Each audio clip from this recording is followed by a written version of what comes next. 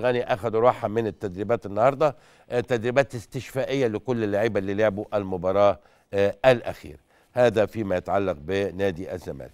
آخر حاجة عندي طبعا لجنة الانضباط المحترمة اللي إحنا بنتمنى إن هي فعلا تعيد الانضباط للملاعب لأن إحنا شايفين بعض الانفلات بعض الانفلات.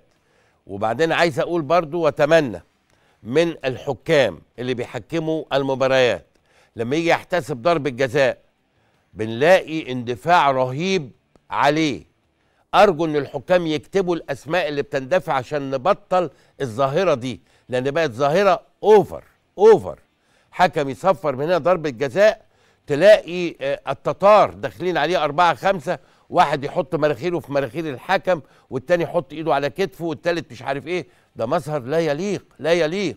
فأتمنى من الحكام إنه اللاعب اللي يندفع عليه اندفاع شكله ثقيل يكتب في تقريره ويروح لجنة نباط وياخد جزء عشان الظاهرة اللي استشرت جدا. لو أنتوا راجعتوا الشريط اللي فات كله الماتشات اللي بتحسب فيها ضربات جزاء هتلاقوا اللي أنا بقوله ده. آخر ماتش أنا اتكلمت فيه كان بيراميدز لما اتحسب عليه ضربة جزاء آه ولا آه مظبوط أو أو طرد حالة طرد على ما أعتقد مش متذكر قوي آخر ماتش. أحمد الشناوي جري حط آه، مناخيره تقريبا في مناخير الحكم تقريبا. ال goalkeeper.